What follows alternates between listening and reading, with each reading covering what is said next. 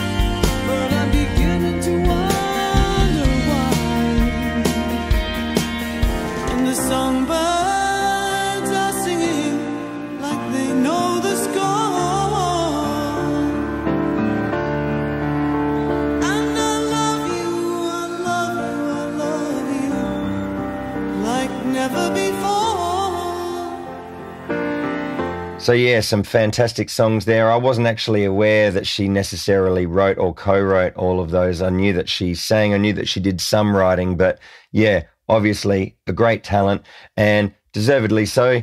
Her and her other band members were inducted into the Rock and Roll Hall of Fame in 1998. All right, so just from that info there, what is it that you've learned? Let me know in the comments below. Is there something that you learnt just from those facts? Here's some things that I've taken on board. The way that she would have been asked in order to have joined a band is that she would have had a good ability. She would have also likely have been a really nice, approachable person. But in regards to her musical ability that she developed, how would have she done that?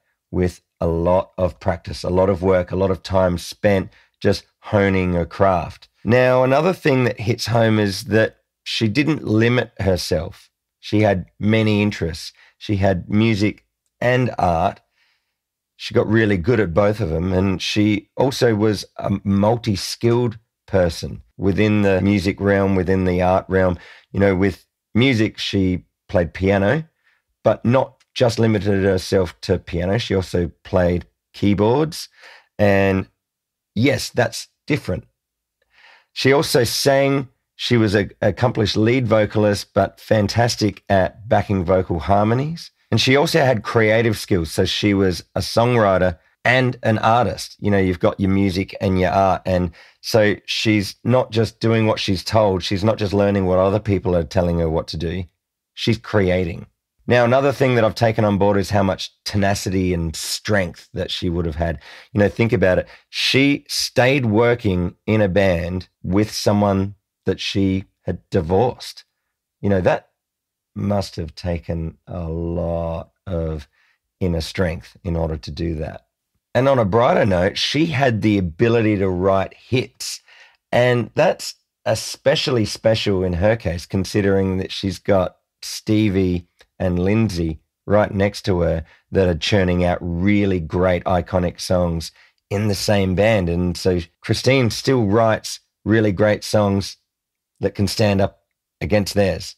Now, the last thing I'll mention is just something that is really unique to all of us. We all have our own voice. And when Christine sings, she's just got this really unique, identifiable tone. And it's a really lovely voice to listen to. And she just does it so well, like no other. Okay, so there you have it. I hope there was a bunch of things that you learnt there. I hope you got a lot out of this video. I know that I really enjoyed doing quite a lot of research, just deep diving into Christine and the Fleetwood Mac discography. So I hope you enjoyed it. And if you did and you want to learn more about music, then there's a heap of other music tips related videos here on this Crafty Music Tips YouTube channel. So that about does it here from me. I'll just say, Christine, thank you so much wherever you are. Thank you for the inspiration and thank you for all of the great music that you've supplied all of our ears all over the world. So that's it for this crafty music tips video. I'll see you in the next one really soon. Wherever you are, take care. I'll see you soon.